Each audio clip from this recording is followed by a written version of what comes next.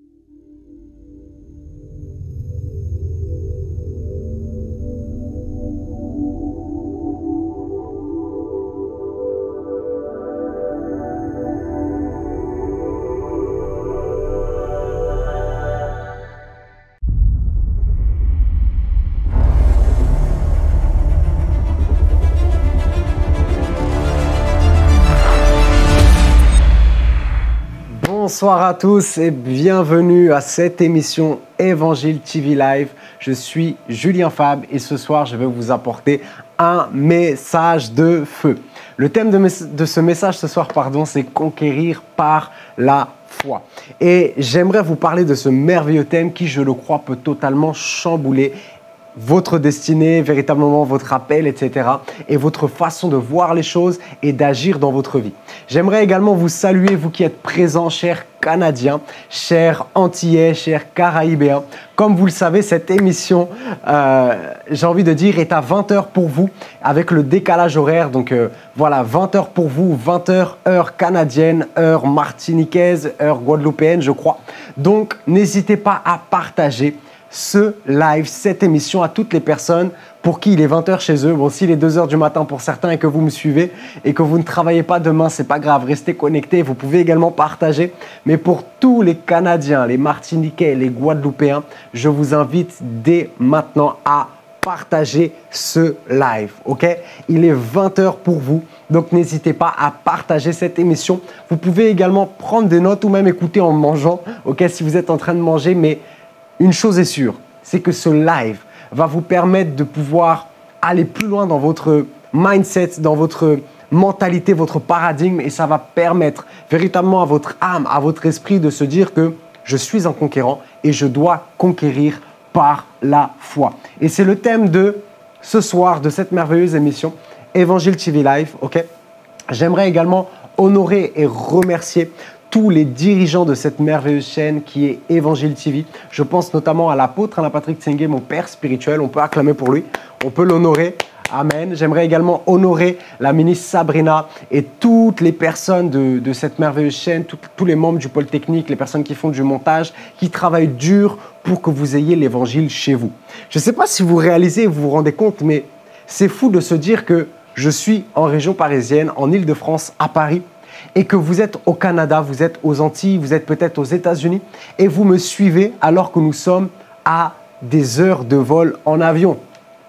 Je ne sais pas si vous vous rendez compte, nous sommes à des kilomètres qui nous séparent. Pourtant, nous avons la possibilité de pouvoir, j'ai envie de dire, être ensemble, ok? De pouvoir être connectés, que vous, j'ai envie de dire, je peux vous parler, vous pouvez me suivre.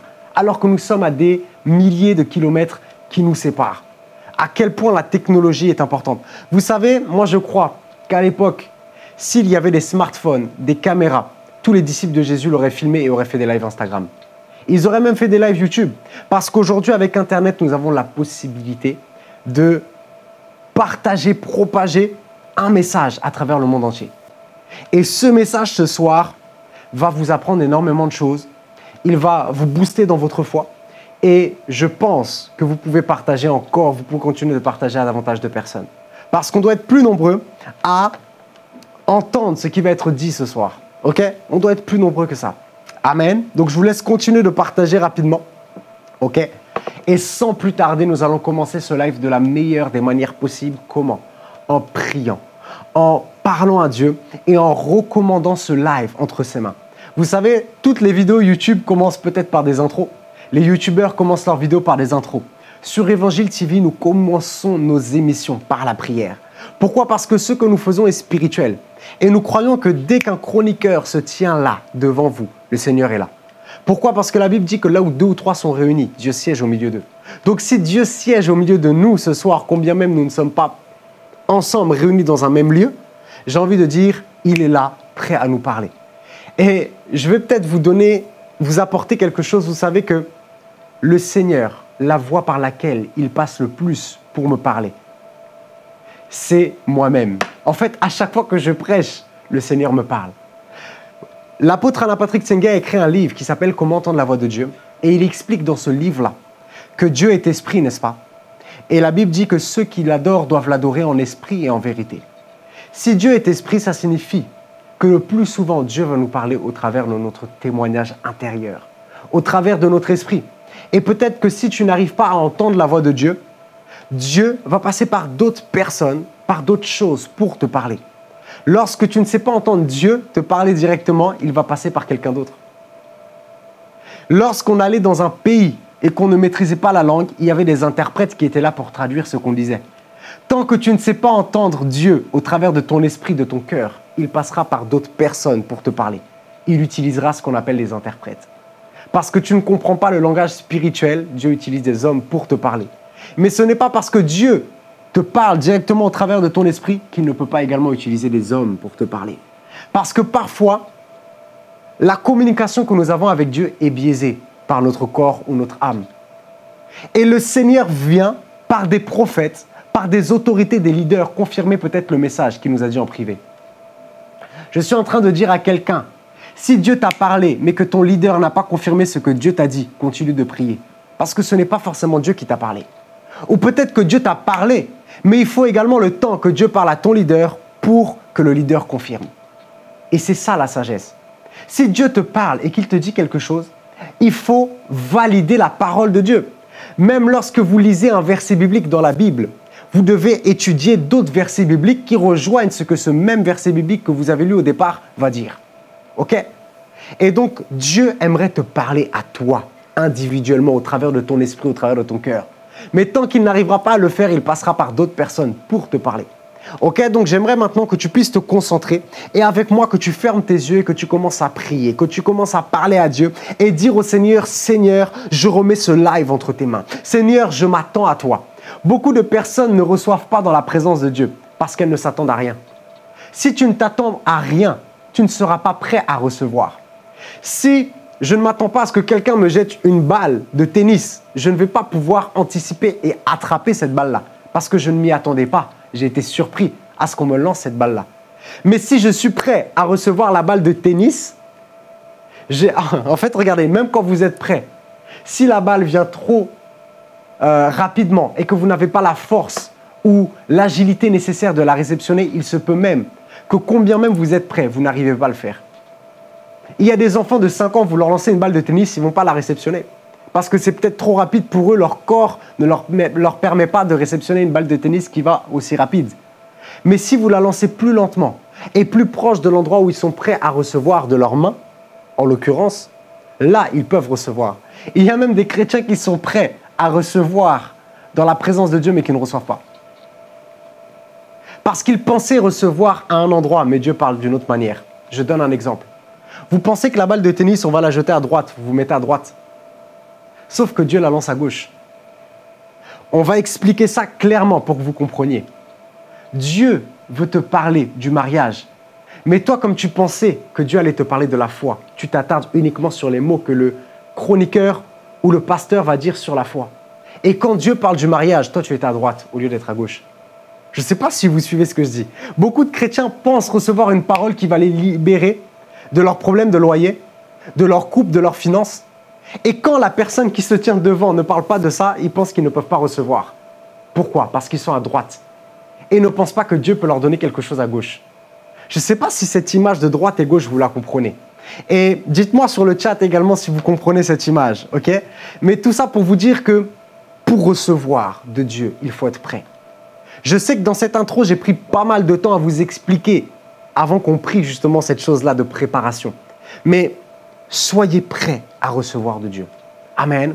Et j'aimerais qu'on prie maintenant. On va fermer nos yeux, on va prier ensemble pour disposer nos cœurs et dire au Seigneur, Seigneur, parle-moi ce soir. Je refuse de me connecter, de venir à ce live sans que ma vie change, sans que ma vie ne soit transformée. Et j'aimerais maintenant que tu commences là où tu te trouves à prier, à parler à Dieu, à lui dire que tu as soif de lui, à lui dire que tu aimerais qu'il te parle, que tu aimerais un nouveau toucher, un toucher particulier ce soir. Donc élève ta voix, commence à prier. Alléluia, merci Père éternel, je te bénis Papa pour ce live, pour cette émission. Évangile TV Live sur le thème Conquérir par la foi. Je viens prier maintenant afin que toutes les personnes qui sont connectées puissent être disposées à recevoir ta parole dans une bonne terre. Je déclare que même les personnes qui ne sont pas en direct, mais qui sont peut-être en replay et qui, sont, qui ont cliqué sur cette vidéo et qui sont tombés dessus, qui écoutent cette vidéo, je prie qu'au travers les paroles qui vont être libérées dans quelques instants, leur vie puisse être totalement changée dans le nom puissant de Jésus. Saint-Esprit, merci parce que tu les localises ce soir. Tu les localises là où ils se trouvent. Tu localises tous les internautes afin que cette émission puisse être mise en avant sur YouTube, puisse être mise en avant, que tes anges ramènent davantage de personnes sur ce direct, au nom puissant de Jésus-Christ de Nazareth. Et je déclare dans le nom de Jésus que toute personne qui se connecte à ce live, à ce direct, est totalement remplie du Saint-Esprit dès lors qu'elle entend ce qui est dit dans ce live, au nom puissant de Jésus-Christ. Saint-Esprit, merci parce que nous remettons ce live entre tes mains. Nous le recommandons entre tes précieuses mains. Nous croyons que ta gloire est là. Nous croyons que ton esprit est là. Nous le savons et nous le croyons. Merci Saint-Esprit parce que tu nous parles ce soir. Tu parles à chacun d'entre nous, moi le premier, qui est ton serviteur ce soir, que tu utilises pour parler à chacun des internautes. Tu me parles, Seigneur, moi le premier. Et tu parles à tes enfants. Tu parles à toutes les personnes qui sont connectées, qui ne te connaissent peut-être pas. Toutes les personnes qui veulent conquérir par la foi, qui ont été intriguées par ce thème. Quel que soit leur âge, quelle que soit leur nature, pas leur nature, mais quelle que soit leur origine, tu leur parles, Seigneur. Et je déclare dans le nom puissant de Jésus qu'au travers de ce live, certains d'entre eux rentreront pleinement dans leur destinée, rentreront pleinement dans leur appel. Je déclare qu'au travers de ce live, il y a un courage, une force et une hardiesse qui descend en eux. Parce que tu leur as donné un esprit de force, d'amour et de sagesse. Et je déclare que ce soir, ils grandissent en sagesse. Ils grandissent en grâce. Ils grandissent dans leur quantité d'amour qu'ils ont pour toi et pour leur prochain. Merci Seigneur Dieu parce qu'au travers de ce live, les vies sont transformées et changées. Et l'onction de Dieu localise maintenant toutes les personnes qui te prient, qui te cherchent et qui veulent, qui veulent être prêts à rentrer dans ta présence, qui veulent être prêts à recevoir tes paroles. Alléluia, merci pour ta présence manifeste ce soir, parce que ton onction est palpable. Nous ressentons l'onction sur ce plateau. Et je déclare que cette même onction qui est là, là où il y a ta présence, vient toucher les cœurs de toutes les personnes qui m'écoutent maintenant, toutes les personnes qui sont connectées à cette émission. La puissance de Dieu remplit leur voiture la puissance et la présence de Dieu remplissent leur appartement, leur maison, l'endroit dans lequel ils se trouvent maintenant au nom puissant de Jésus-Christ. Alléluia, merci Seigneur Dieu pour ces puissants moments que nous passons avec toi. Nous sommes reconnaissants, nous te remercions et nous te rendons toute la gloire. Dans le nom puissant de Jésus-Christ. Amen. Alléluia, Amen, Amen. Ce live commence, ce n'est pas une prière finale, mais bien une prière qui annonce le début d'une émission glorieuse et puissante qui va impacter votre vie. Oui, oui, vous m'avez bien entendu, cette émission va impacter votre vie. Et si j'étais à ta place, tu as peut-être partagé il y a quelques instants, je prendrai encore quelques secondes, une minute ou deux, pour continuer à partager. Tu peux partager cette émission sur WhatsApp, sur Telegram, sur euh, Facebook, j'allais dire Skyblog, si tu as encore Skyblog, MSN, ok, sur Twitter, sur Instagram, sur Snapchat, mais maintenant, cette émission en story. Je vais faire une capture d'écran, vous allez faire une capture d'écran et moi je vais faire une petite pause, ok?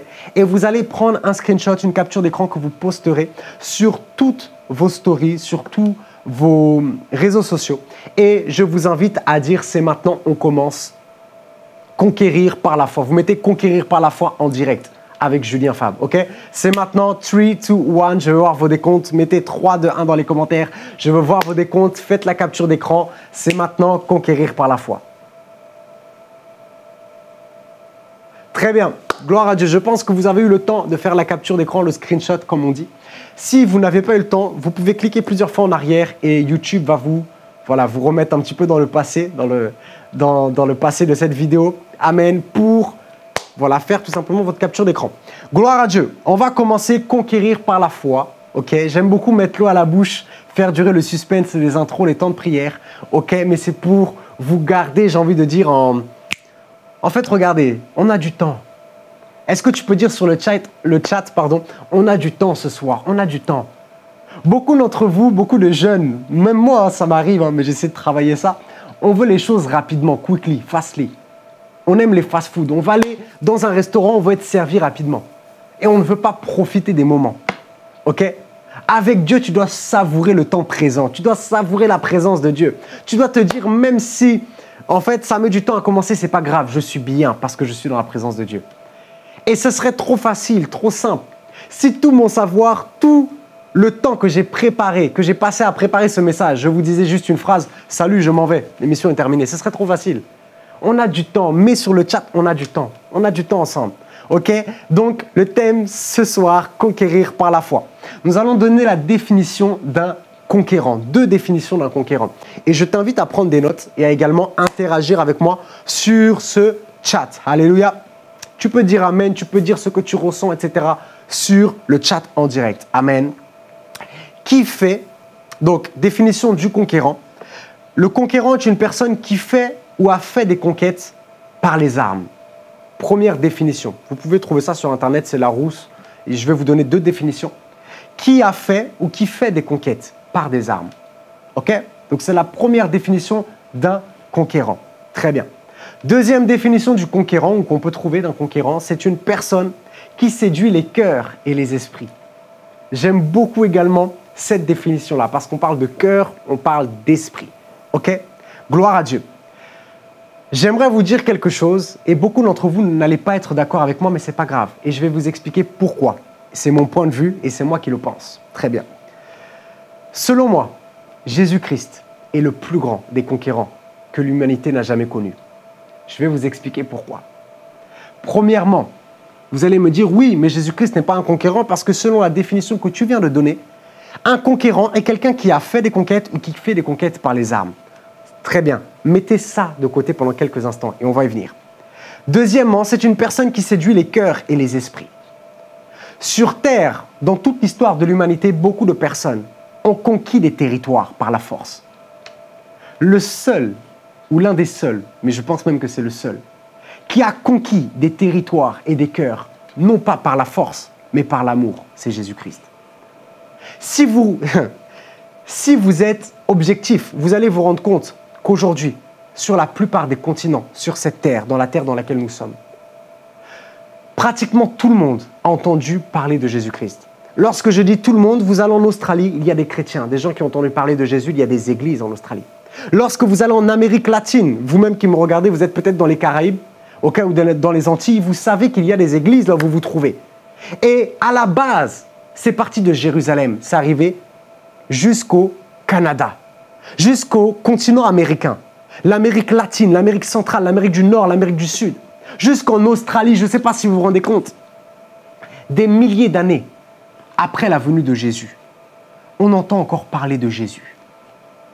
Et j'ai même envie de dire, les gens continuent à accepter Jésus dans leur vie des milliers d'années après. On pense que le plus grand territoire qui a été conquis sur la terre, c'est peut-être l'empire mongol, l'empire mongol, l'empire de l'URSS, l'empire britannique, colonial, ou peut-être l'empire de Napoléon, l'empire des Romains, mais le plus grand empire, en réalité, c'est celui de Christ. Parce que donnez-moi un endroit sur terre où il n'y a pas des chrétiens. peut-être que les États n'appartiennent pas à Jésus, mais nos corps, nos âmes, nos esprits lui appartiennent. Amen. Et Dieu a tout créé. En fait, J'aimerais vous dire que Dieu est le plus grand des conquérants. Amen. Dieu est le plus grand des conquérants. Écoutez-moi bien. Peut-être que les armes de Jésus n'étaient pas des armes charnelles, physiques, des épées. Mais Jésus avait d'autres armes, je vous le dis. Il y a une expression, un dicton qui va dire avoir plusieurs cordes à son arc. Jésus avait plusieurs cordes à son arc. Je vous dis la vérité. Et on le verra d'ici quelques instants, les armes que nous avons, même si elles ne sont pas charnelles, elles sont tout autres elles sont spirituelles. Mais on va y venir. Amen, on va y venir. Jésus a dit quelque chose de merveilleux. Et nous allons ouvrir nos Bibles dans Matthieu 16 au verset 18. Matthieu chapitre 16 au verset 18. On peut également l'afficher si les techniciens, la régie peut l'afficher. ok Et vous pouvez le prendre chez vous. Et moi je te dis, c'est Jésus qui parle à Pierre ici. ok Et moi je te dis que tu es Pierre et que sur ce roc, je bâtirai mon église. Et que les portes du séjour, oh là là, c'est Siri qui s'est activé. Je sais pas, il m'a même surpris. ok. Et moi, je te dis que tu es Pierre et que sur ce roc je bâtirai mon église, et que les portes du séjour des morts ne prévaudront point contre elle. Je te donnerai les clés du royaume des cieux. Ce que tu liras sur la terre sera lié dans les cieux. Et ce que tu délieras sur la terre sera délié dans les cieux. Alors il recommanda aux disciples de ne dire à personne qu'il était le Christ. Très bien. On va continuer à lire, je vais vous expliquer quelque chose. Dès lors, Jésus commença à faire connaître à ses disciples qu'il fallait qu'il aille à Jérusalem, qu'il souffre beaucoup de la part des anciens, des principaux sacrificateurs et des scribes, qu'il soit mis à mort et qu'il ressuscite le troisième jour. Pierre, l'ayant pris à part, se mit à le reprendre et dit, À Dieu ne plaise, Seigneur, cela ne t'arrivera pas. Mais Jésus se retournant dit à Pierre, Arrière de moi, Satan, tu mets en scandale, car tes pensées ne sont pas les pensées de Dieu, mais celles des hommes. Très bien, on va expliquer le contexte. Pour expliquer le contexte, à un moment donné, Jésus parle à ses disciples. Et Pierre va dire quelque chose. Il va dire, tu es le Messie. Tu es le Fils de Dieu. Et Jésus va dire à Pierre, si tu, si tu sais que je suis le Fils de Dieu, c'est parce que Dieu te l'a révélé. Si Dieu ne te l'avait pas révélé, tu ne saurais pas que je suis le Fils de Dieu. Ok? Très bien. Ensuite, Jésus va dire à ce même Pierre, tu es Pierre, et sur le roc, sur cette pierre, je bâtirai mon église. Très bien. Ensuite, ce même Pierre, qui a eu la révélation que Jésus était le Messie, le Fils de Dieu, quelques versets plus tard, il va dire, non Seigneur, tu ne mourras pas. Sauf qu'il n'avait pas compris que c'était le plan de Dieu pour Jésus. Et Jésus va lui dire, arrière de moi, Satan. Il va lui dire, en réalité, tu n'as pas les pensées de Dieu. En d'autres termes, Dieu a utilisé Pierre pour qu'il ait la révélation et qu'il comprenne que Jésus était le Messie. Quelque temps plus tard, la Bible nous dit que Jésus lui a dit arrière de moi Satan. Mais ce n'est pas ça le plus important. Le plus important dans ce passage, c'est cette phrase-là lorsque Jésus dit à Pierre, tu es Pierre, et sur cette pierre je bâtirai mon église. Lorsque vous étudiez l'histoire, vous comprenez que l'église n'a pas été inventée par Jésus. Si l'Église avait été inventée par Jésus, Jésus n'aurait pas dit sur cette pierre, je bâtirai mon Église. Jésus aurait dit, je bâtirai l'Église. Mais Jésus n'a pas dit, je bâtirai l'Église. Il n'a pas inventé un mot. Il a repris un mot que les Grecs employaient et utilisaient à l'époque. Le mot Église vient du grec ecclésia. Ah. Beaucoup de personnes ne voient pas où je veux en venir et ils me disent, mais c'est quoi le rapport entre Pierre, Jésus, tout ça? Et justement, l'Église et la conquête, conquérir par la foi. Très bien. Nous avions dit qu'un conquérant est celui qui fait ou qui a fait des conquêtes par les armes. Ou alors que c'est une personne qui séduit les cœurs et les esprits. Très bien. Le mot ecclésia a été repris par Jésus et Jésus a dit à ses disciples sur cette pierre, je bâtirai mon église, son église. Le mot ecclésia en grec, qui a donné église en français, c'est un mot, un terme qui signifie assemblée de citoyens dans les cités grecques. Et l'une des personnes qui justement a mené les ecclésias, c'était Alexandre le Grand. Un des plus grands conquérants que l'histoire n'ait jamais connu. Alexandre le Grand. Et lorsqu'il allait à un endroit, il créait ce qu'on appelle des ecclésias. Il venait par l'épée, il naviguait. OK? De territoire en territoire. Il tuait les gens et il créait ce qu'on appelle des églises. Très bien, des ecclésias. Et il donnait à tous ceux qui se soumettaient à lui une nationalité, une citoyenneté. Très bien. Les Romains ont même repris ça. Ils venaient dans des endroits, ils faisaient des esclaves. Et j'ai même envie de dire, bon, c'est surtout les Grecs, hein. très bien, c'est surtout les Grecs. Jésus parle ici du mot ecclésia. Ce mot-là, renvoie à le champ lexical du, de l'armée, de la guerre, de la conquête. Et vous devez le comprendre. Jésus a dit, je bâtirai mon église, une assemblée d'individus qui me suit, qui suit mes enseignements, qui suit ma doctrine, mes disciplines. Et je, et sur, sur Pierre, sur cette roque, je bâtirai mon église. Très bien. On va maintenant aller lire deux autres versets bibliques pour que vous compreniez. Je suis encore dans l'introduction de l'introduction. OK? Gloire à Dieu. On va lire maintenant Hébreu 10, Hébreu chapitre 10, du verset 24 jusqu'au verset 25. Amen.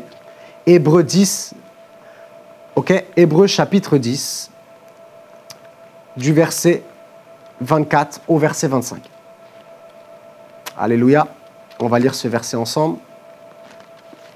Vous pouvez ouvrir votre Bible ou également lire le verset qui s'affiche. Amen. Veillons les uns sur les autres. Très bien. Veillons les uns sur les autres pour nous exciter à l'amour et aux bonnes œuvres. N'abandonnons pas notre assemblée, comme c'est la coutume de quelques-uns, mais exhortons-nous réciproquement, et cela d'autant plus que vous voyez s'approcher le jour. OK? Donc ici, il est dit, veillons. OK? La Bible dit, veillons les uns sur les autres, pour nous exciter à l'amour et aux bonnes œuvres. N'abandonnons pas notre assemblée, comme c'est la coutume de quelques-uns. Ça signifie que déjà à l'époque, il y avait des personnes qui fuyaient les églises et qui partaient des églises, qui partaient des assemblées. Très bien. En fait, regardez. On va maintenant lire Acte 2, Acte 2, 46 à 47. OK? Acte 2, 46 à 47. Et la Bible dit chaque jour, avec persévérance, ils se retrouvaient d'un commun accord au temple. Ils rompaient le pain dans les maisons. Ils prenaient leur nourriture avec joie et simplicité de cœur. Ils louaient Dieu et avaient la faveur de tout le peuple. Le Seigneur ajoutait chaque jour à l'Église ceux qui étaient sauvés. La Bible nous dit quoi? Le Seigneur ajoutait chaque jour à l'Église ceux qui étaient sauvés. J'aimerais expliquer quelque chose par rapport à l'Église. L'Église vient du mot grec ecclésia. Ecclésia renvoie au champ lexical de l'armée, de la conquête, de tout ce qui est militaire. Jésus nous parle justement du fait que il va bâtir son église. Et il nous renvoie justement à ce champ lexical-là du combat, de la conquête, du fait de conquérir. Jésus ne nous demande pas, ne nous demande pas de prendre les armes et de tuer les gens. C'est pas ça. Jésus lui-même ne l'a pas fait. Et un chrétien n'est pas censé tuer quelqu'un. Mais la conquête ici, ici dont il est question, à laquelle Jésus fait allusion, c'est justement cette conquête-là, de faire en sorte que toutes les personnes sur terre reconnaissent Jésus et l'acceptent dans leur vie. C'est de cette conquête-là dont il est question. Est-ce que vous savez que jusqu'à aujourd'hui, le livre qui est le plus vendu sur terre, c'est la Bible? Je ne sais pas si vous vous rendez compte. C'est le livre qui est le plus vendu sur terre. Et jusqu'à preuve du contraire, bon, ça fait longtemps que je ne me suis pas renseigné là-dessus, mais lorsque vous rassemblez toutes les branches du christianisme, la religion numéro une sur Terre, peut-être que je dis des bêtises, hein, mais c'est, ok, vous, vous vérifierez à la maison, c'est justement le christianisme. Même en Chine, c'est le pays où il y, a plus, il y a le plus de chrétiens sur Terre, je crois. Et c'est même également le pays où il y a le plus de nos croyants sur Terre. Après, vous me direz, ils sont quand même très nombreux, ok, en Chine. Mais le truc, c'est quoi? C'est que aujourd'hui, nous sommes sur Terre en majorité chrétiens. Je ne sais pas si vous vous rendez compte. Dites-moi quel peuple, quel empire, quel royaume a eu plusieurs milliards de membres dans ce royaume-là et dans cet empire? C'est pas possible, c'est du jamais vu. Et Jésus est le plus grand des conquérants. Je continue de le dire et je continuerai de le dire. Mais on a vu tout à l'heure que les armes dont il est question et dont nous devons prendre, ce ne sont pas des armes charnelles, ce ne sont pas une épée, quoique la Bible nous parle de l'épée comme étant la parole, n'est-ce pas? Ça signifie que ta parole dans le monde spirituel est semblable à une épée. Amen. Et Dieu nous demande de combattre à genoux, en priant. Et la prière est la plus grande arme du chrétien. Je vous dis la vérité. Si vous voulez être un conquérant pour le royaume de Dieu, ça va vous demander d'être un homme ou une femme de prière. Parce que cette conquête dont il est question, c'est une conquête qui est spirituelle. Amen. C'est une conquête qui est spirituelle. Et on va revenir à nos moutons, on va reparler de l'Église. Amen. L'Église, ok, il y a l'Église, bâtiment, à dissocier de l'Église comme étant l'assemblée, le corps de Christ, comme vous le connaissez. Ok? La Bible nous dit que l'Église est l'épouse de Christ, la fiancée du moins. Amen? Donc l'Église n'est pas juste un bâtiment, l'Église est un regroupement de personnes, on parle même du corps de Christ. Très bien. Le corps de Christ est différent du bâtiment. Amen? Lorsque vous allez à l'église, être membre d'une église, c'est pas être membre d'un bâtiment. Et lorsqu'on parle d'église, on parle également de famille spirituelle. Si Jésus dit je reviendrai chercher mon épouse, la fiancée, l'église, le corps de Christ, ça signifie que si on parle d'épouse, on parle d'alliance, on parle de famille. Parce que quand vous êtes membre d'une famille, j'ai envie de dire, il y a une alliance. OK? En fait, regardez, il y a un lien de sang qui est plus fort. Regardez, les membres de vos familles, vous avez un lien avec eux qui est plus fort que le lien que vous avez avec vos amis. Pourquoi? Parce que les membres de vos familles ont le même sang qui coule dans, leurs veines que dans le vôtre. Vous avez le même sang. J'ai même envie de dire votre apparence, votre taille, votre corpulence, votre couleur de peau est liée au chromosome qu'il y avait chez vos parents. Vous n'êtes pas là, vous ne naissez pas dans une famille, vous ressemblez à personne. Vous êtes obligé de ressembler au moins à la mère, ou peut-être même au père. Ok? Admettons que votre père soit votre réel père. En tout cas, c'était une petite blague. Très bien. Mais tout ça pour vous dire que ce que vous êtes naturellement, ok, va dépendre de vos ancêtres. Et j'ai envie de dire, le sang qui coule dans vos veines et le sang qui coule dans les veines de vos parents et ils vous ont communiqué ce sang-là, n'est-ce pas? Ce qui signifie que une famille, la famille dans laquelle vous êtes, ce n'est pas juste la maison dans laquelle vous vous trouvez, l'appartement dans lequel vous vous trouvez. Et combien même vous partez de chez vos parents, vous restez membre de la famille. J'aimerais dire quelque chose aux chrétiens et leur rappeler une chose. Une église, une assemblée est avant tout une famille spirituelle. Beaucoup de personnes changent de famille comme de chaussettes. Dieu crée des cadres. Il a créé des cadres. Lorsqu'un enfant naît, la volonté parfaite de Dieu, c'est qu'il grandisse dans cette même famille. Et ce n'est pas qu'il quitte la famille pour aller dans une autre. Si un enfant naît et qu'il grandisse dans une famille autre que la sienne, c'est parce qu'il s'est passé quelque chose qui n'était pas censé se passer. Soit les parents l'abandonnent, soit les parents décèdent. Et l'enfant se retrouve dans une famille d'accueil. Et lorsqu'un enfant se retrouve dans une famille d'accueil, il n'est pas censé changer encore de famille. Le but, c'est qu'il y reste.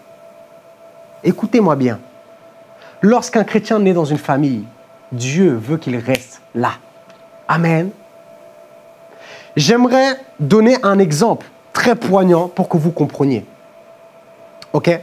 J'aimerais donner l'exemple justement du PE Linda, OK, qui est en Martinique actuellement. Peut-être qu'elle me regarde et je te salue.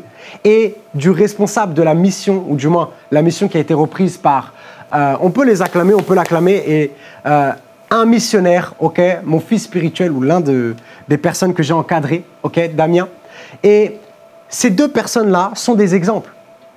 Parce que combien même ils sont allés dans d'autres pays, ou du moins même si la Martinique est rattachée à la France et que le peu Linda est parti en Martinique et Damien est parti au Canada, ils étaient membres de l'église ACER. Ils ne sont pas partis en se disant Oh là là, je vais aller en Martinique, je vais aller au Canada, je vais devoir trouver une autre église parce que je ne suis plus à Paris, là où il y a l'église ACER. OK? Parce qu'ils sont membres de l'église ACER, également l'église dans laquelle je suis membre. OK? Très bien. Ils sont partis en se disant mon église, ou du moins le bâtiment, n'est pas là en Martinique ou au Canada. Mais ils sont venus pour apporter un réveil. Et pour apporter justement, j'ai envie de dire, un nouvel élan à la famille. Parce qu'ils sont fils de l'ACER, ils sont allés en Martinique et au Canada en se disant je suis fils, je ne change pas de famille, je suis dans une famille, je vais agrandir la famille. Amen. Ils se sont dit je vais agrandir cette famille-là dans laquelle je suis.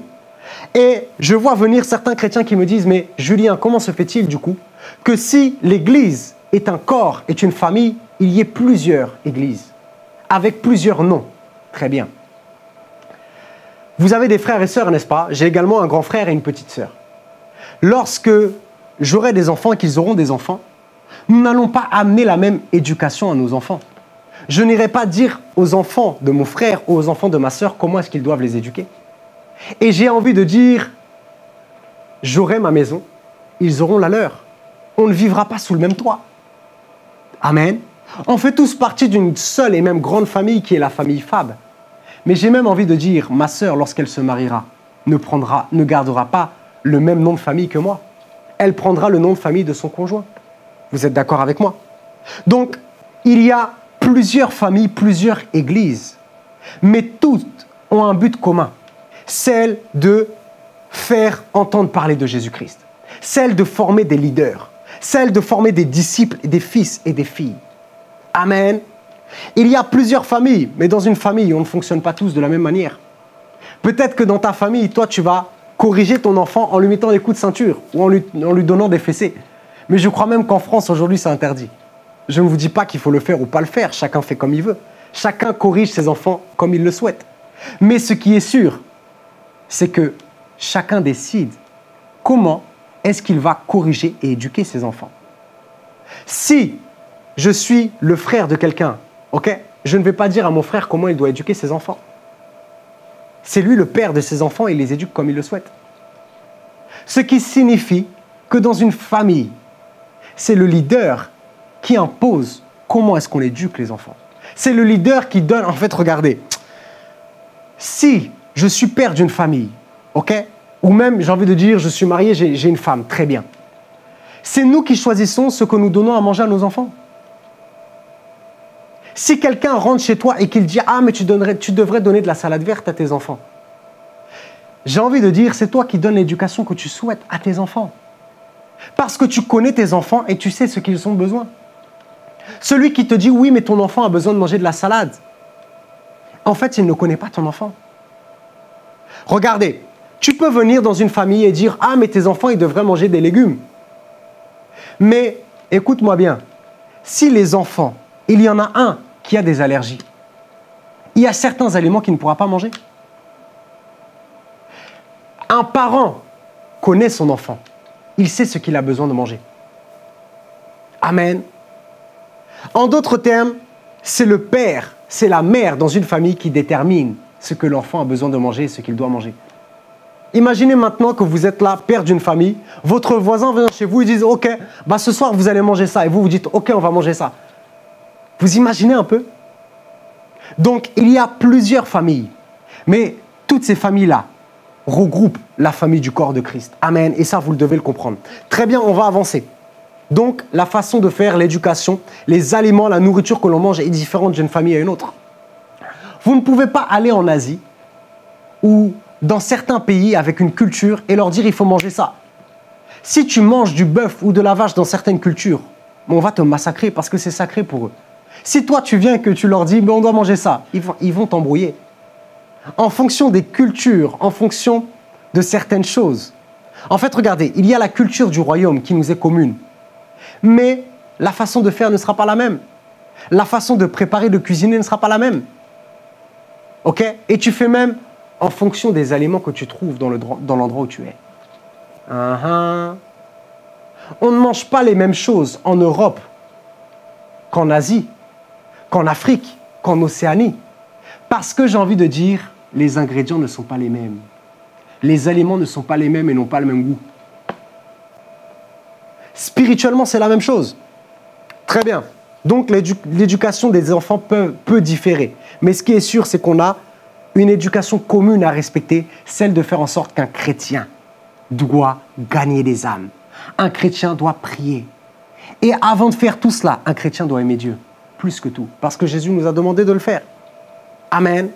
Et c'est à cela qu'on... En fait, Jésus dit, c'est à cela qu'on remarquera que vous êtes mes disciples si vous m'aimez, si vous gardez mes commandements et que je suis en vous.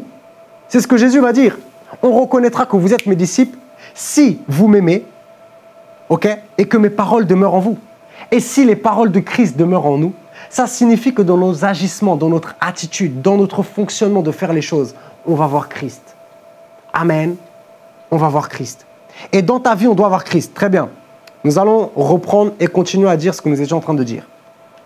Jésus est le plus grand des conquérants. Amen. Mais Jésus n'a pas pris les armes. OK? Mais a pu conquérir par l'amour, par des prodiges et par des miracles. Je viens de dire que Jésus n'a pas pris des armes, mais en réalité, Jésus a pris des armes. Et comme je l'ai dit il y a quelques instants, et là, on va s'attarder dessus, Jésus a pris des armes, mais pas n'importe lesquelles. Des armes spirituelles. Amen. Jésus n'a peut-être pas combattu comme d'autres conquérants, avec des épées, avec des flottes, avec des navires. Mais Jésus s'est battu avec des armes spirituelles. Jésus s'est battu par l'amour, par la prière, par le bien qu'il faisait autour de lui. Et les gens le suivaient. Et Jésus était un grand leader. Et Jésus est un grand leader. Amen. Nous allons ouvrir nos Bibles dans 2 Corinthiens. On peut également me l'afficher s'il vous plaît. 2 Corinthiens chapitre 10 à partir du verset 4. Ok? 2 Corinthiens chapitre 10 à partir du verset 4. Car les âmes avec lesquelles nous combattons ne sont pas charnelles, mais elles sont puissantes par la vertu de Dieu pour renverser les forteresses. Wow, my God.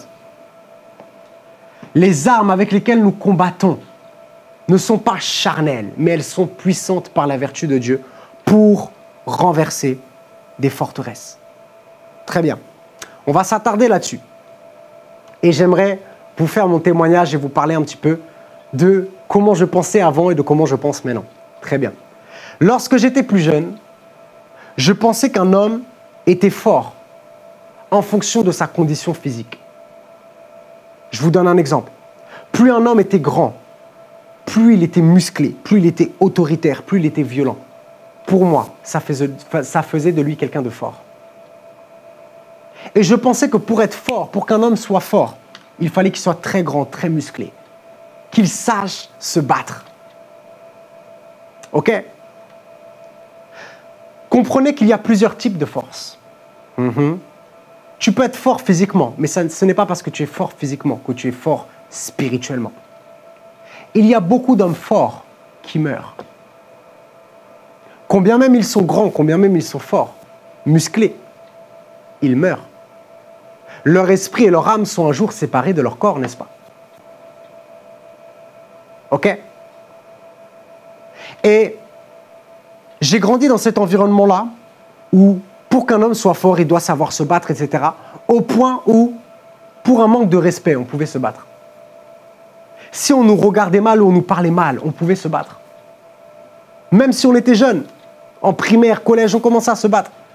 Lorsque nous étions au lycée avec mon groupe d'amis, tous les midis, nous fermions les portes des classes, des salles de cours pendant la pause et on faisait des corps à corps. On, apprenait à se battre, on s'entraînait, on se battait entre nous. OK? Parce qu'on pensait que si on veut être fort, si on veut amener j'ai envie de envie de dire de, on va amener les gens à nous respecter, à nous écouter. Il faut être fort, physiquement. Il faut être autoritaire, il faut être musclé, il faut être violent, il faut être grand. Et c'est ce que je pensais. Seulement, quelqu'un qui est physique, il ne peut pas se battre contre le vent. Beaucoup de personnes Vous allez en salle de sport pour vous muscler. Vous vous entraînez pour vous battre. Mais la nuit, lorsque vous dormez, j'ai envie de dire, vous êtes... Comment je peux dire ça? On peut vous atteindre. Tu peux être très fort, mais quand tu dors, si quelqu'un vient et qu'il te tue, tu ne pourras rien faire. Parce que tu dors. En d'autres termes, un être humain ou un, quelqu'un de naturel, quelqu'un de physique, lorsqu'il dort, son corps dort. Et s'il a mis toute sa force dans son corps, tu peux faire ce que, tu veux de lui quand il dort. Beaucoup de personnes, si les démons vous embêtent la nuit, c'est parce que vous êtes peut-être fort, physiquement parlant, mais spirituellement, vous êtes down. Et en fait, regardez, tu as beau être musclé comme quoi, grand comme quoi, si tu te bats contre quelqu'un qui est invisible, contre un esprit, tu es foutu. Beaucoup de personnes, les démons, le diable, font ce qu'ils veulent de vous. Parce que spirituellement, votre esprit n'est pas fort. Et j'aime beaucoup ce verset biblique qui va dire, si le corps est faible, l'esprit peut le relever. Mais si l'esprit est faible, qui pourra le relever? Qui pourra le relever?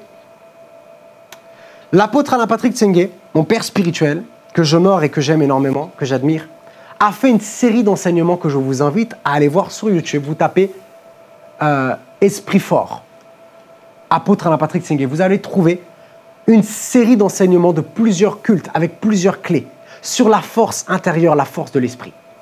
OK? Et des, années plus tard, pour en venir à mon témoignage, à ce que je pensais, j'ai réalisé que l'homme le plus fort, ce n'est pas le plus grand, le plus musclé, mais que l'homme le plus fort, c'est celui qui craint Dieu et qui prie. Ah Si tu crains Dieu et que tu es un homme de prière, les gens voudront te tuer, ils ne pourront pas. Lorsqu'on est venu arrêter Jésus, Jésus n'était pas le plus musclé, quoique je pense qu'il était très musclé. Jésus n'était pas le plus grand, n'était pas le, le, le, plus fort combattant physiquement. À l'époque, on parle des soldats romains. Les soldats les plus entraînés, ce n'est pas en fait, c'est pas des gars qu'on a pris dans la rue comme ça, c'est des soldats qui sont entraînés pendant des années. C'est leur métier de tuer. Ils viennent arrêter Jésus au moment où ils disent qui est Jésus. Jésus leur dit c'est moi. La Bible va dire que les soldats romains reculèrent et tombèrent par terre. Qu'est-ce qui a fait en sorte que des soldats qui ont tué des centaines, des milliers de personnes, armés, entraînés depuis des années, c'est leur métier de tuer. Ils n'ont pas réussi à arrêter Jésus. Du moins, ils ont réussi à arrêter Jésus parce que Jésus s'est rendu. Je ne sais pas si vous vous rendez compte. Ils viennent arrêter Jésus, Jésus leur dit c'est moi. Ils reculent et tombent par terre. Et ça arrivait deux fois. Et Jésus leur dit, mais je vous dis que c'est moi, si c'est donc moi, venez, arrêtez-moi. Si les soldats romains ont reculé et sont tombés par terre dès, dès lors que Jésus a dit c'est moi, c'est parce que Jésus était rempli du Saint-Esprit. Jésus était un homme de prière. Lorsqu'il parlait, il y avait l'onction. Les anges étaient là. Jésus pouvait parler et dire aux anges qui étaient là, de tuer tous les soldats en un rien de temps, ça aurait été fini. Mais Jésus ne l'a pas fait parce qu'il devait mourir à la croix. Pour toi, pour moi, pour nous. Amen. Tout ça pour te dire que, en fait, regarde, j'aime beaucoup ce témoignage-là d'un de mes pères, d'une personne que j'admire énormément, le pasteur Yvon Mouketou, qui est le pasteur responsable de, l'église de ACR Lyon avec sa, son épouse, le pasteur Tina. Mouketou, ok? Et ils font un travail formidable également à Grenoble, à Saint-Étienne, etc. Et un jour, j'ai entendu cela, le pasteur Yvon nous en parlait. Quelqu'un a essayé de frapper, de mettre une, une claque au pasteur Yvon. La personne qui a essayé de taper le pasteur Yvon, hmm, il y a quelque chose qui a retenu son bras. My God, je ne sais pas si vous vous rendez compte. En fait, les gens vont venir pour essayer de te taper. Mais parce que Christ est en toi, parce que tu es un homme de prière, parce que la puissance de Dieu habite en toi. Lorsque les gens voudront te taper, les anges vont retenir leur coup. Les gens vont essayer de te tuer, ils ne pourront pas. Ah, my God, je ne sais pas si vous vous rendez compte. Mais qu'est-ce qui fait ça lorsque l'esprit est fort? Amen. Lorsque l'esprit est fort, si ton esprit est fort, les gens pourront essayer de te taper, ils n'y arriveront pas. Je te dis la vérité. OK? Et j'aimerais donner un autre exemple rapidement, avant de parler justement de la foi et rentrer pleinement dans ce merveilleux thème. Lorsque j'étais au lycée, je devais faire un exposé en anglais, un devoir maison, un exposé, à rendre à mon professeur en anglais, sur un héros. OK? Un héros. Et on devait le faire en espagnol et en anglais. OK? Et on devait faire cet exposé-là. À rendre justement en espagnol et en anglais. Et en espagnol, je ne sais plus qui j'avais choisi, mais en anglais, j'avais choisi une personne. J'avais vu un film qui m'avait marqué. Et je me suis dit, je vais parler de cette personne-là pour faire mon exposé. Et cette personne-là est une personne qui est partie en guerre. C'était un soldat américain appelé Desmond Doss. Et on a même fait un film sur lui qui s'appelle Tu ne tueras point. Si vous n'avez pas vu ce film, je vous invite à regarder ce film, quoique c'est un film de guerre, donc âme, sensible s'abstenir, si je puis dire. Et pour vous parler de cet homme-là, cet homme est parti en guerre. Et cet homme était chrétien. Il voulait partir en guerre, il s'est porté volontaire. Mais il a dit à ses commandants, à ses supérieurs, à toute l'armée américaine, je vais aller en guerre, mais je ne veux pas apprendre à manier une arme et je ne veux pas tuer des gens. Les gens l'ont regardé ils se sont moqués de lui, ils ont dit, mais tu viens pour faire quoi alors? Il a dit, je veux participer à la guerre, mais je veux participer de la guerre à ma manière. Je suis chrétien, je ne tue pas les hommes. Écoutez bien l'histoire de ce monsieur.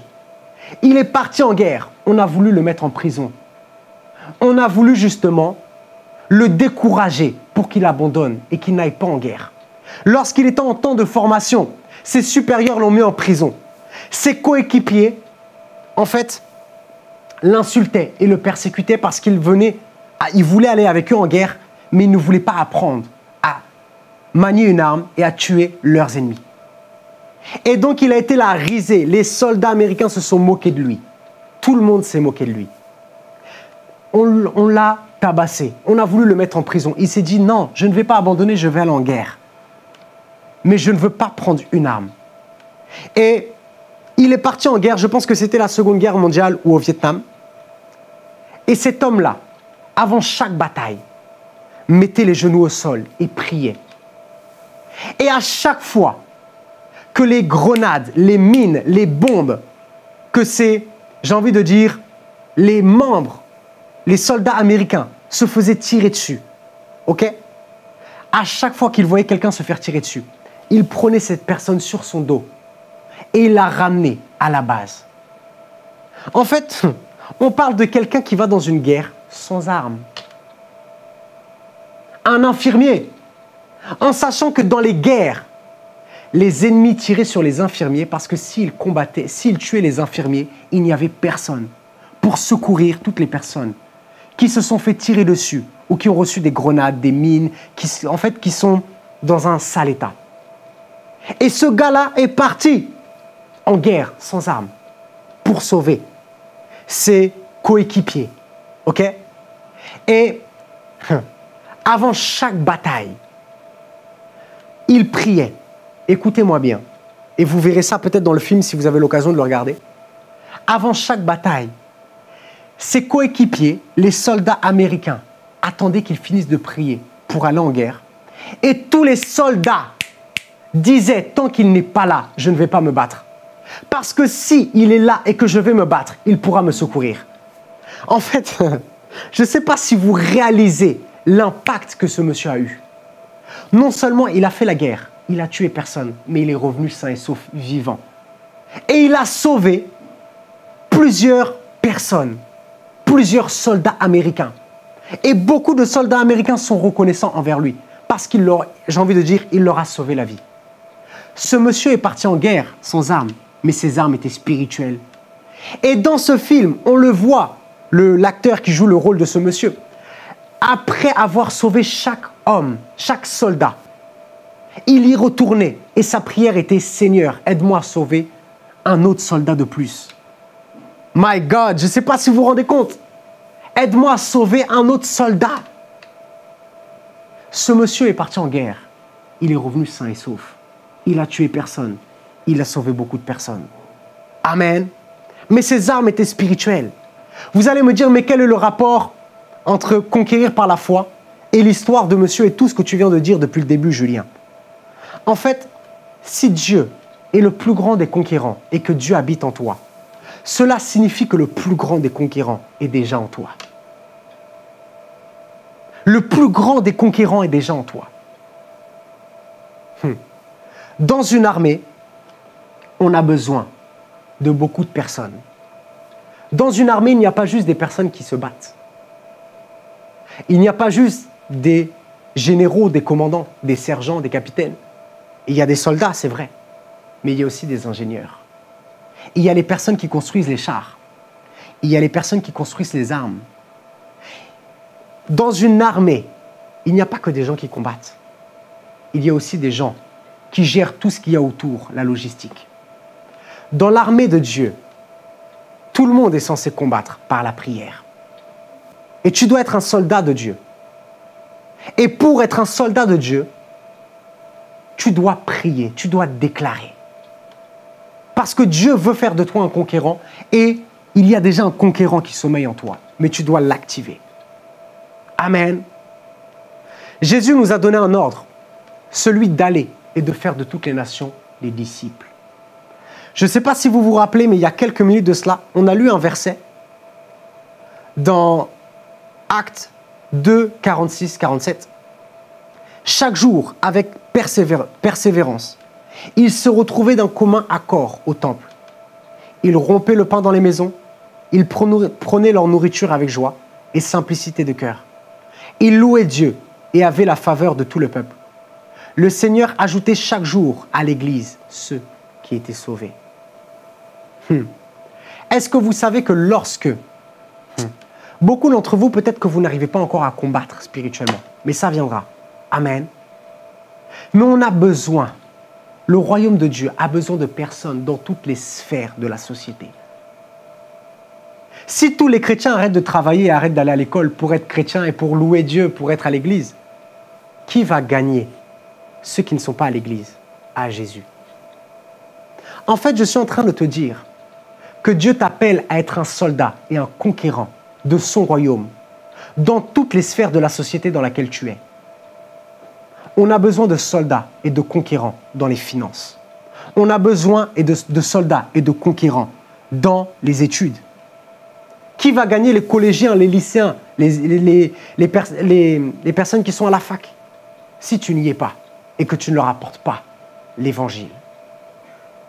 Jésus nous a dit, allez faites de toutes les nations des disciples. Allez faites de toutes les ethnos des disciples. Le mot ethnos qui a donné ethnie. Ce mot-là signifie groupe d'individus.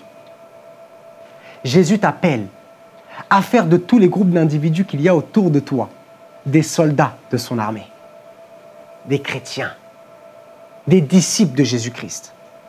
Amen. Alléluia. Si tu es spirituel, tu seras un très grand conquérant. Il y a un verset dans la Bible, je paraphrase, qui va dire Dieu est comme le vent. On ne sait d'où il vient, on ne sait d'où il va. Où il va. Est-ce que vous savez que quand vous êtes spirituel, le diable aura beau essayer d'anticiper vos mouvements, il n'y arrivera pas. Parce qu'un esprit est comme le vent. On ne sait d'où il vient et où il va. Tu peux te battre contre quelque chose de physique, de tangible. Tu peux taper quelqu'un, un homme, une femme qui a un corps physique. Mais quelqu'un qui est spirituel, essaye de le taper. Tout à l'heure, je vous ai dit que beaucoup, les démons s'en prennent à eux, surtout la nuit. Et c'est là qu'ils ont des paralysies du sommeil, des troubles, ils font des cauchemars, que les démons s'en prennent à eux la nuit. Parce que justement, leur esprit n'est pas suffisamment fort. Quelqu'un qui est spirituel, même quand il dort, son esprit combat pour lui. Son esprit est en activité, l'esprit ne dort pas. L'esprit ne dort pas, ça signifie que si tu es spirituel, même lorsque tu dors, ton corps se repose, ton esprit ne dort pas. Tu ne dors pas, tu es en train de, combattre. Tu es en train de prier. Tu es dans la présence de Dieu, combien même tu dors. On ne peut pas sans... Quelqu'un qui combat, même quand il dort, comment tu vas l'atteindre? Et quelqu'un qui combat avec l'éternel des armées à ses côtés, essaye de l'atteindre. Ah, tu ne peux pas t'en prendre à quelqu'un qui combat dans l'armée de Dieu et qui combat avec Dieu. Si Dieu est avec lui, ne cherche même pas à le combattre. Beaucoup de personnes aujourd'hui, ok, sous prétexte qu'ils ne connaissent pas une personne, se permettent de parler sur lui. Je vais te donner un conseil. Si tu ne connais pas quelqu'un, ne parle pas sur lui. Aujourd'hui, au travers des médias, de la pub, des journaux, on se permet de parler sur les présidents, sur des joueurs de foot professionnels, sur des influenceurs sans les connaître. On ne connaît pas leur vécu, on se permet de parler. On voit une personne avec une belle voiture, on se dit, oh, il a volé beaucoup de gens pour avoir cette belle voiture. Du moins en France. Seulement, on attire ce qu'on respecte. Si tu ne respectes pas ceux qui réussissent, tu ne réussiras jamais. Parce que pour réussir, tu dois t'inspirer de ceux qui ont réussi avant toi pour réussir. Lorsqu'on ne connaît pas quelqu'un, on ne parle pas déjà un chrétien ne critique pas et ne parle pas négativement à l'égard de quelqu'un. Premièrement. Mais si tu parles mal et négativement à l'égard de quelqu'un qui combat avec Dieu, tu es foutu. Si quelqu'un a l'onction et que tu as le malheur de t'en prendre à lui, tu ne t'en prends pas à un homme, tu t'en prends à Dieu. My God, qu'est-ce qui me permet de le dire? L'apôtre Paul persécutait les chrétiens. Sur le chemin de Damas, le Christ, Jésus lui est apparu. Et Jésus lui a dit quoi? Saul, Saul, pourquoi me persécutes-tu? Jésus n'a pas dit, Jésus n'a pas dit, pourquoi est-ce que tu persécutes Pierre, Jean, les disciples? Mais Jésus a dit, pourquoi me persécutes-tu? Si quelqu'un s'en prend à toi, si tu marches avec Dieu, il va se frotter à Dieu. Tu as bien entendu. Si quelqu'un ose se frotter à toi et que tu es un soldat de l'armée de Dieu, que Christ habite en toi, dès lors qu'une personne se frotte à toi, qu'elle essaye de te nuire, ce n'est pas à toi qu'elle essaie de nuire, mais à Dieu. Et on ne peut pas nuire à Dieu. Tu ne peux pas combattre Dieu. Si quelqu'un essaie de combattre Dieu, il est foutu. Il est cuit.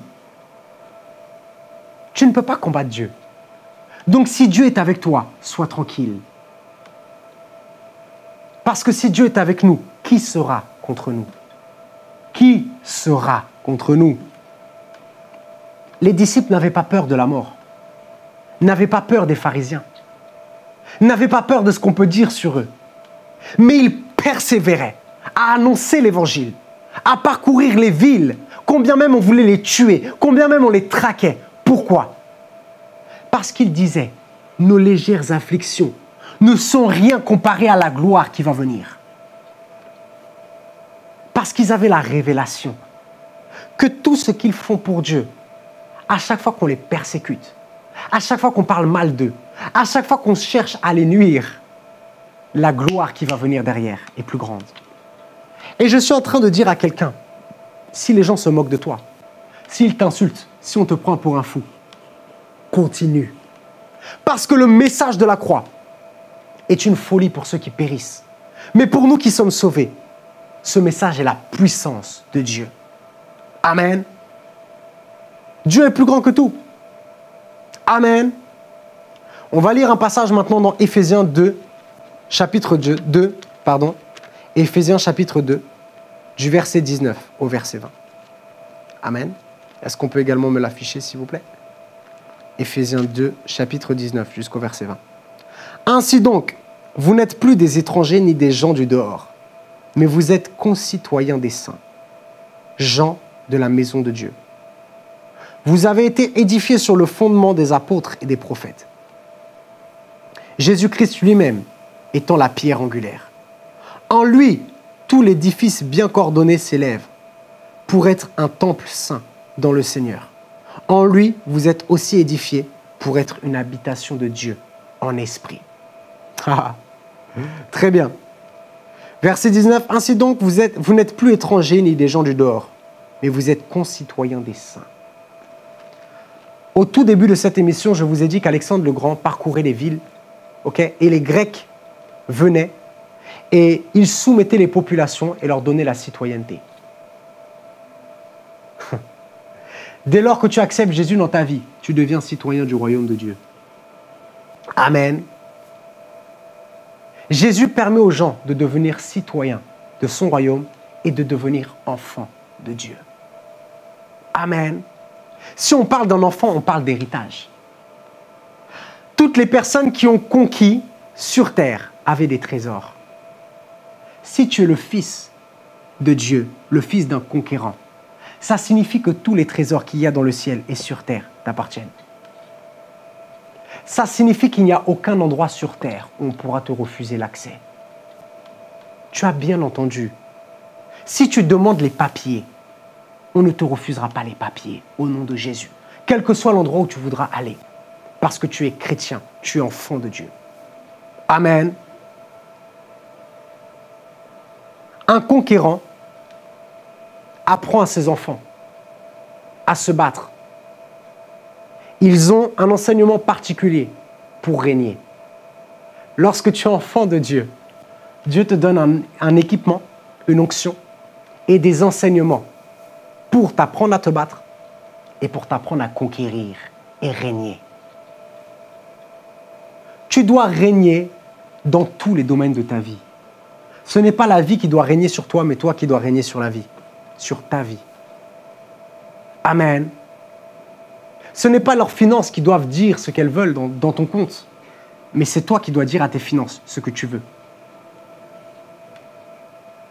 Les difficultés de la vie doivent parler moins fort que toi tu ne leur parles. J'aime beaucoup ce, schéma-là où on dit qu'en réalité, un homme de prière ne dit pas à Dieu ses problèmes. Un homme de prière parle de son Dieu à ses problèmes. Beaucoup de chrétiens sont là et disent à Dieu, Seigneur, j'ai plein de problèmes, aide-moi. Sauf que Dieu n'attend pas que tu lui parles pour lui dire, j'ai plein de problèmes, aide-moi. Dieu attend que tu lui parles pour lui dire, Seigneur, quel est le problème que je peux résoudre? Et c'est ce que Jésus faisait. Il y a une dimension dans la prière où tes problèmes sont pourvus parce que tu parles aux problèmes et tu les chasses. C'est ce que Jésus faisait. Il y avait la tempête. Il a dit à la tempête, calme-toi. Lazare était mort. Il a dit, Lazare, sors. Jésus parlait aux situations. il y a une dimension dans la prière où dans ta vie tout se passe tellement bien que tu dis à Dieu, Seigneur, conduis-moi vers des personnes qui ont besoin de toi. Et c'est ça un homme de prière. Ce n'est pas quelqu'un qui dit, Seigneur, Seigneur, aide-moi, viens-moi en aide. Un homme de prière, c'est quelqu'un qui plie le genou et qui dit à Dieu, Seigneur, comment je peux t'aider? Il y a plusieurs dimensions dans la prière.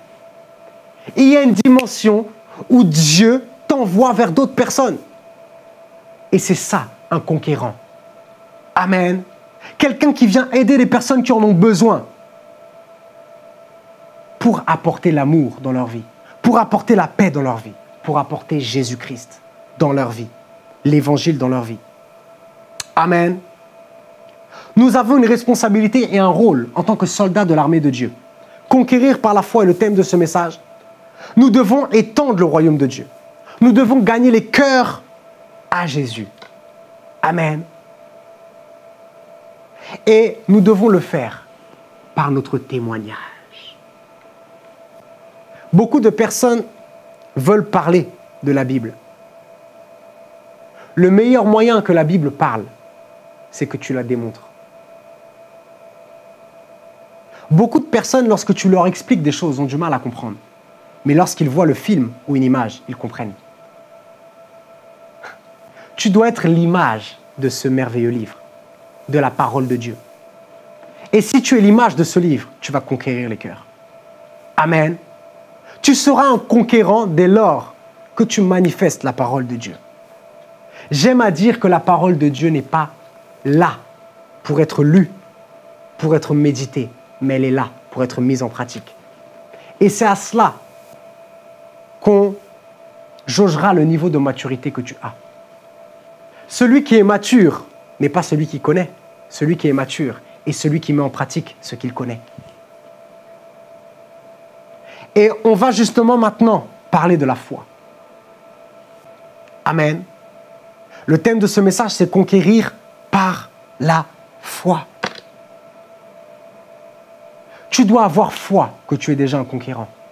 Tu dois le croire et tu dois en être convaincu et persuadé. La Bible dit, c'est par, grâce que nous sommes sauvés par le moyen de la foi. L'apôtre Alain Patrick Tsengue dit souvent, la foi est l'un, si ce n'est le sujet le plus important de la Bible. Parce que la foi est ce, qui, est ce qui te permet de croire en ce livre et de le mettre en pratique. Sans la foi, tu as beau savoir ce que dit ce livre, tu ne le mettras pas en pratique. Et j'ai même envie de dire, le Saint-Esprit est là pour nous révéler les mystères. Le Saint-Esprit est là pour nous enseigner.